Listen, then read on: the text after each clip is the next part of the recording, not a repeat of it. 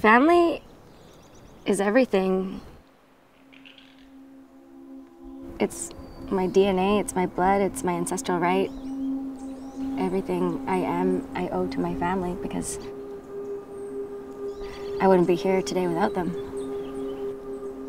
My name is Charlene Johnny, and I'm a Cowichan artist from Vancouver Island, BC. And I do murals and graphic design and jewelry.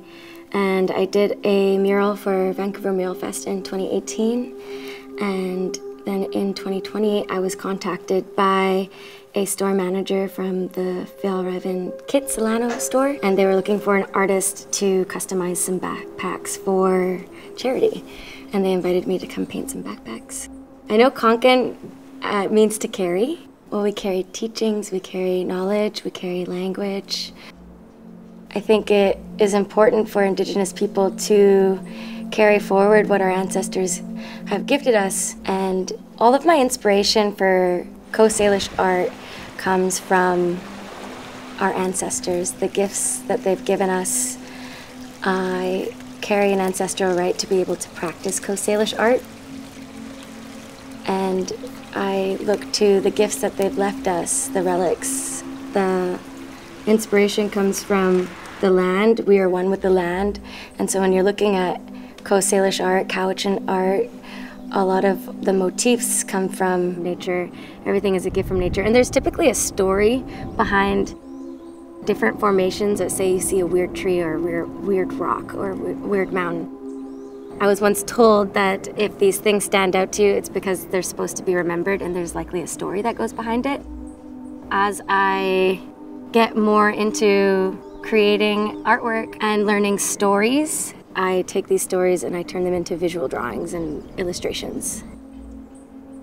The design came from a really old drawing, a really old spindle whorl that I decided to draw in 2013 when I was studying Coast Salish art.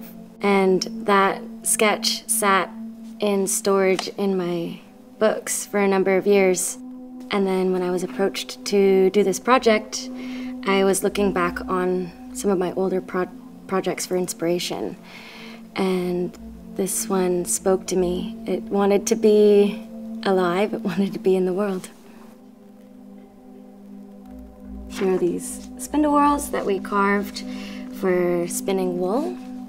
And indigenous people and Coast Salish people have been weaving and knitting uh, for a very long time.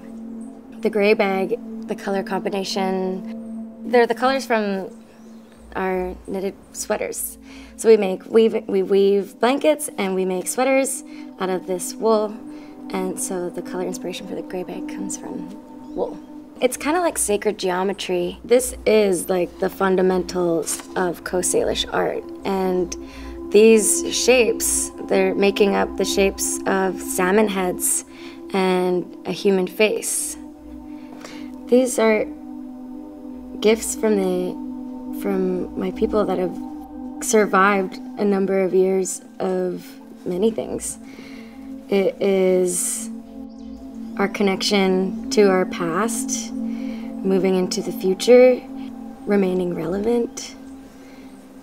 It, it's part of my identity and who I am.